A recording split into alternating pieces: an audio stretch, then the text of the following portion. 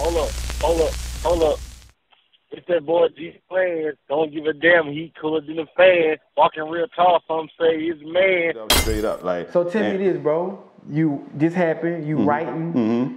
Did you? What's the, what was the name of the song that you were writing? No, no, listen, I would just write. I used to just write in a diary Oh, back then. just I'm just writing. writing about, I don't, you know, what happened that day. I'd be writing about the chick I saw at school that I like. You know what I'm saying? I just, diary yeah, yeah. no, I don't, hey, listen, I just had to get lost in the flood. I ain't lying. I wish I could. If it was blue, I had to. I maybe bought it at a book fair or something. I used to be writing it every day. I ain't lying. So, but just to know, Oh, you lost in the Katrina. yeah, yeah. We lost a lot of Katrina, like a lot, a lot. Uh, yeah, a bunch, a bunch. My house. So when Katrina, I lived in the area. So when Katrina happened, I actually was in college at LSU, and a lot of people actually, my my wife when she come home, my lady back then, but we had about 20 people I knew come to her apartment just to stay back then. Because when I looked at the news, I never forget. This is how I knew my house was gone. Cause I stayed like we moved out of St. Bernard. We live in a place called um, like in Gentilly, which is right by. If you ever been to the Jazz Fest, is right by the fairground. And so there was a Tad Gormley Stadium. They showing a helicopter view, you know, of the flood at that time. And Tad Gormley Stadium right next to my house, right? And the, the water was at the scoreboard at Tad Gormley Stadium. Now I'm in Baton Rouge at the time, but just seeing that. Oh, you got out though. Yeah, yeah. I was at, I was I was in Baton Rouge at the time, so I I wasn't in. I was in college in Baton Rouge at the time when Katrina happened. But when I'm looking at the news and I see the water level at the football stadium, I pretty much knew my house was done. with. Yeah, yeah, literally. So like I never. So fact, I mean, just facts. I never saw my house after that. I ain't want to go. My mom went back and you know saw all that shit, cleaned it out. But I just like my mom said like like the fucking fridge was, you know, in the living room and the, the stove, you know, like the water had just been and, and just I mean that shit just sad. Think about how much we lost pictures and you know you know all mm-hmm. kind of you know memorabilia and stuff like that. That yeah, we lost a lot during that shit. It was mm-hmm. crazy. Man, that was a tough time. I Yeah. remember that 05. You know what I'm saying? No, when that, when that 05. Yeah, yeah, it was. Yeah, it was. It was. No, it was crazy. I remember that because we, we from neg- us from negatives, Mm-hmm. we didn't go to school for like a day because they sent all our buses down there. Right. Come so on. So I met a lot of people from New Orleans in 05. No, it was when crazy. they came out of school, bro, all I seen was like wallet chains, niggas, niggas rapping Dipset, Yeah, Wayne. yeah, no, listen, listen. That's all I and, heard. and that's when I and I had just started teaching at that point, Yeah. right? And I'm telling you, I'll never forget. I'm telling these little dudes in Baton Rouge and people. I mean, this might be controversial, but it is what it is. Like, Baton Rouge didn't have his rep that it have now until Katrina. Hmm. I'm not, I'm gonna post No, no, no, that's fine. No, but no, no, but I'm saying that as far as musically mean, or- no, mean, meaning murders and oh, all this. yeah. Like, cause what happened is a lot of dudes from New Orleans moved to Baton Rouge, and the crime, like, literally, I, like, and so I, like, I'll never forget. I'm telling the dude because they, my kids when I first started teaching would be interested, asking me questions, it's like in New Orleans, whatever.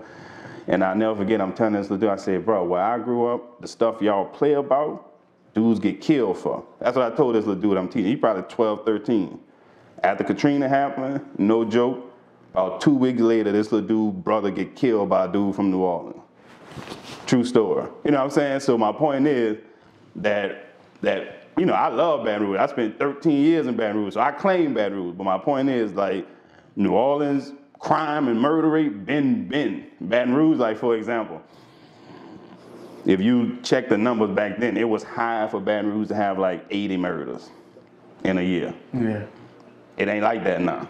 You know what I'm saying? They pushing 200, 300 now. You know what I'm saying? So my point is like before Katrina, it was a, I could just say this, felt like Baton Rouge was a much calmer, safer place. And they, I mean, it been, you know, I ain't hating it been Jigga City Park. I love, you know, I love Baton Rouge, bro. Every, every time I think of Baton Rouge, I smile. I had such a good time at, at bro. I love LSU, bro. You know, so Yeah, every and- time and I, I- think of LSU, I smile. And I, ain't want to go back because that, that's that's how you got to Baton Rouge. You was in New Orleans. Uh-huh. Migrated to Baton Rouge to go to college. Yep. What did you go to college for? So when I went to school, I actually was in there for mass communications, advertising. Now, I, let me let me backtrack. I ain't gonna lie.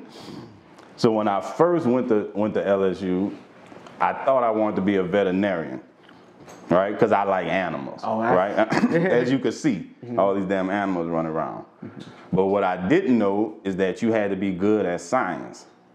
Like, and I ain't know no damn science. Like, I took one science class, and I realized, man, that you you gotta, you know what I'm saying? If you think you're gonna be a doctor, you just can't say that shit. You gotta really, in high school, have been serious about that. You know what I'm saying? So I went there thinking that, oh, I could just say I won't be a doctor, and that shit gonna happen.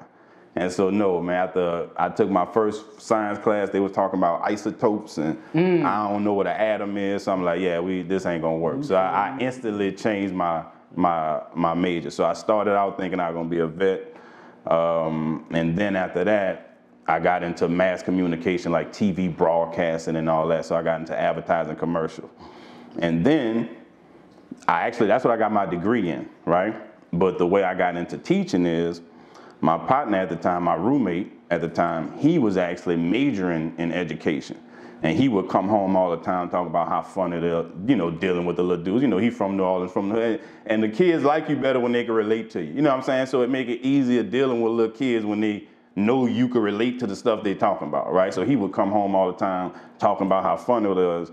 Was so that kind of got me interested in teaching. You know what I'm saying? So then knowing the damn job security of teaching. You know what I'm saying? So mm-hmm. that really got me like, yeah, man, that shit crazy. You really that you get real life job security, insurance, blah blah blah, all these benefits from teaching. I'm like, yeah, man, that might be a good decision as far as walking around looking for a marketing job and all this. Yeah. So then I'm like, okay, so then I took my classes that I needed to take to get certified to teach. Oh, so, you certified? Yeah, so I'm a certified. Yeah, I've been, Yeah. yeah, I'm certified. I've been, been, Yeah. been, been certified. But yeah, so all my, I went, I went to school thinking I was gonna do marketing, so I got a degree in that, so I could do that. You know, I, even with, you know, if you look at the quality of my album covers and shit, all that is marketing. So I, you know, and that's all me, you know. So I know how to, you know, put together, promote, whatever. I'm just, like I say, I- I'm the worst self promoter in the world just by being, how can I say, You say you introverted? Int- introverted. Yeah, like I, I, but I'm how, almost. you, how you introverted and, te- and you're a teacher? No, here's the thing. It- it's so crazy. Because how can I say this shit? You, I guess you have to be a teacher to know it, bro. Like nothing feel better than seeing a kid turn up. You know what I'm saying? Like when, like when you working with a kid who didn't believe in themselves, who had no confidence, and you could see them when they realized, like, man, that's you know what I'm saying, like that. Like, and when you got that ability to to make kids turn up, like, man, that shit priceless. You know what I'm saying? now, so. now, which subjects are you teaching? I teach English and reading. So yeah, so man, we reading stories, breaking down stories, breaking down character, plot, theme, you know, all that different stuff. So it, you know, but, and I'm gonna go there, but it, it just is what it is. Like what I told you when we talked a little bit over the phone. For them, like, like if you met my daughter, right, and and this is probably why I'm so hard on my children, because over all these years of teaching, you see the results of when people don't take education serious. So one thing I got from teaching was, nigga, you better stay involved with your children, because the consequences mm-hmm. is crazy. You know what I'm saying? So for example, my little daughter, no joke, in the third grade with an 11th grade reading level, and that ain't by mistake. That's because we read with our ass every day. You know what I'm saying? Like, and so I could tell you this is a true story. So she came home this about about three months ago. She came home. She like she joked out. She like, Dad, you embarrassed me today. I'm like, what you talking about? She was like, we were at school and we played a game called categories. And it was my time. And she said, and the category was YouTube channels. And she said, I don't know any YouTube.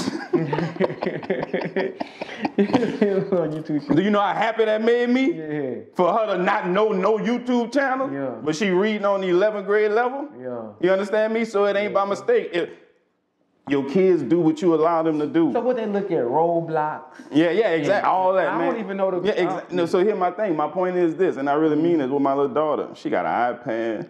My son got Nintendo Switches, all that. But there's a time to turn that shit off. Turn it off. Turn, you know what I'm saying? They can only do that on the weekend. They can only do that when they got a school break. You know what I'm saying? Like, like distractions ain't new. Like, nigga, if my mom would have let me play PlayStation all day and never made me do my work, nigga, I would. You know what I'm saying? At some point, you and and what's so crazy is with the technology, you could take the shit everywhere. So if, when we was younger, you had to turn that shit off, and it was you could turn it off and get away from it.